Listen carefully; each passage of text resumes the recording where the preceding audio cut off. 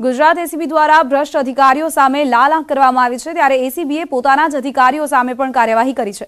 એસીબીએ છેલ્લા બે વર્ષમાં અનેક અપ્રમાણસર મિલકતના કેસ કર્યા છે અને જેમાં આંકડાની વાત કરીએ તો વર્ષ બે હજાર અઢારમાં કુલ બાર સરકારી અધિકારીઓ સામે અપ્રમાણસર મિલકતના કેસ કરવામાં આવ્યા છે અને જેમાં ચર્ચા ચર્ચાસ્પદ કેસ જમીન વિકાસ નિગમના કનૈયાલાલ દેત્રોજા સામે કરી કરોડો રૂપિયાની અપ્રમાણસર મિલકત એસીબીએ શોધી કાઢી છે.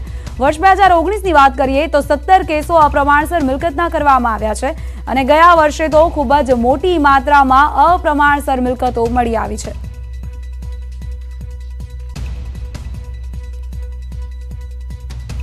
જમીન વિકાસના મદદનીય નિયામક પ્રવીણ બાલચરભાઈ પ્રેમલ અત્યાર સુધીમાં સૌથી વધુ રૂપિયાનો ડીએ બન્યું છે. દસ કરોડ ચોપન લાખ સત્તાવન હજાર ચારસો સોળની અમે અપ્રમાણસર મિલકત શોધી કાઢી છે. એટલે અત્યાર સુધીના ઇતિહાસમાં આટલી અપ્રમાણસરની મિલકત કોઈ અધિકારી પાસેથી હાલ સુધી અમને મળી આવેલ નથી.